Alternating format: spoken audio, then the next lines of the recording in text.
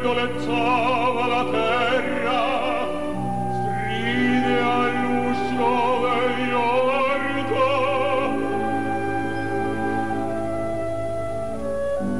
e un passo sfiorava l'arena.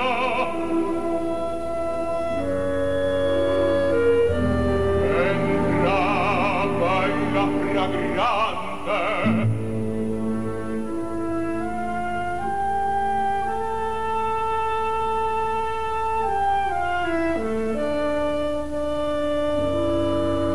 Father.